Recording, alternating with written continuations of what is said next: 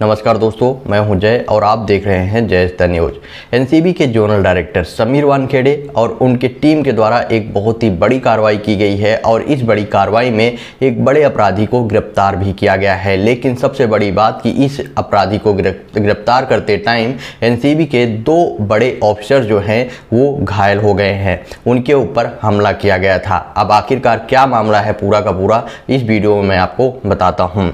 तो अभी जो अपडेट आ रही है, उसमें बताया जा रहा है कि सेक्टर थर्टी खार घर जो नबी मुंबई में है वहाँ पर एक बड़े अपराधी की मिलने की आशंका जताई गई थी। इसके बारे में जो है एनसीबी की टीम को कहीं से इन्फॉर्मेशन मिली थी।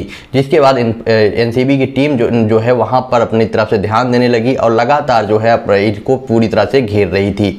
तो अभी अभी जो अपडेट आ रही है, इसमें बताया जा रहा है कि सैमुअल नाम के एक व्यक्ति को जो एक बड़ा अपराधी है ड्रग्स की सप्लाई कर रहा था पिछले काफ़ी टाइम से, उसको एनसीबी की टीम ने गिरफ़्तार कर लिया है।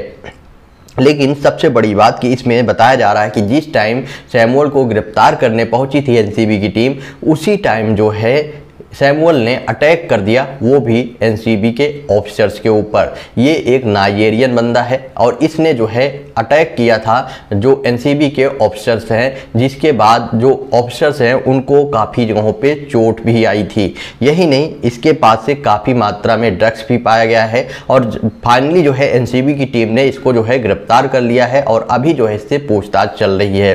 तो इसका जो बताया जा रहा है कि इसका जो है इंटरनेशनल कनेक्शन था और लगातार ये पिछले काफ़ी टाइम से बाहर से ड्रग्स को ला के इंडिया में सप्लाई करता था और धीरे धीरे करके पूरा हर एक जगह में इंडिया के हर एक स्टेट में जो है ये ले जाके सप्लाई करता था। तो कहीं ना कहीं से काफ़ी बड़ी अपडेट आ रही है और जो एनसीबी की टीम है, उनके द्वारा एक बड़ी कार्रवाई की गई है और ये जो सैमुअल है, ये काफ़ी टाइम से एक्टिव था, ऐसा नहीं कि अभी सडनली आया। लेकिन आपको बता दूँ कि पिछले कुछ टाइम से 22 जो इंटरनेशनल कनेक्शन जो नाइजीरियन व्यक्ति हैं, उनको गिरफ़्तार किया गया है, वो भी एनसीबी की टीम के द्वारा। जो कि काफ़ी बड़ी बात है कि इतने ज़्यादा लोग जो है, वो नाइजीरिया से इंडिया में आ रहे हैं और लगातार जो है ड्रग्स की सप्लाई कर रहे हैं। आपका क्या ओपिनियन है? आप अपना ओपिनियन कमेंट बॉक्स में बताएँ और वीडियो को ज़्यादा से ज़्यादा शेयर करें।